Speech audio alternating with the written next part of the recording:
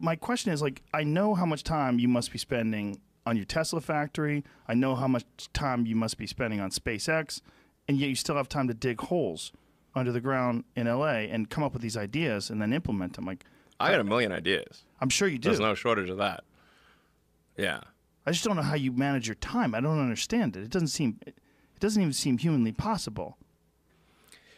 You know, I, I do basically. I think people like don't totally understand what I do with my time. They think like I'm a business guy or something like that. Um, like my Wikipedia page says business magnate. What would you call yourself? I'm a business magnet.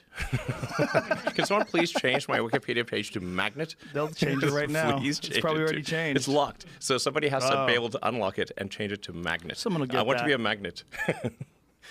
um, no, I, I, I do engineering and you know and manufacturing and that kind of thing. That's like eighty percent or more of my time.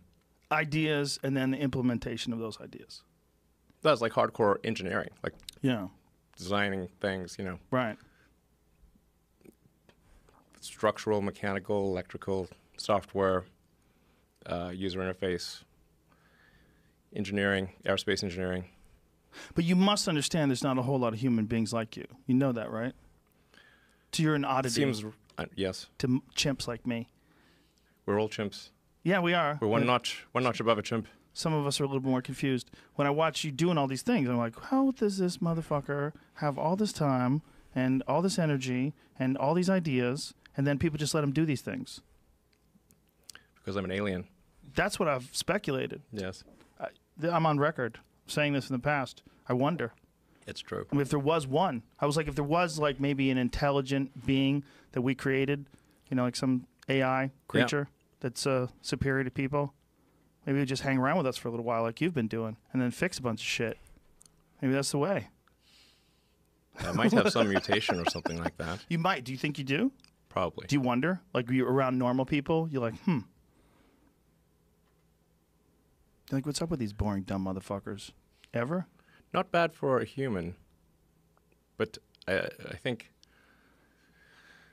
we'll not be able to hold a candle to AI. Hmm.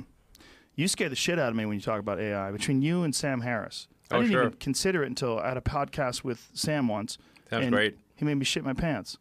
I, eh, talking about AI, I, I realized like, oh, well, this is a genie that once it's out of the bottle, you're never getting it back in. That's true.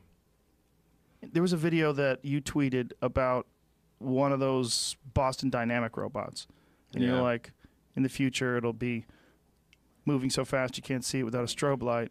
Yeah. You could probably do that right now. and no one's really uh, paying attention too much, other than people like you or people that are really obsessed with technology. All these things in, are happening, and these robots are. And did you see the one where PETA uh, put out a statement that you shouldn't kick robots It's probably not wise. for retribution? Their their memory's very good.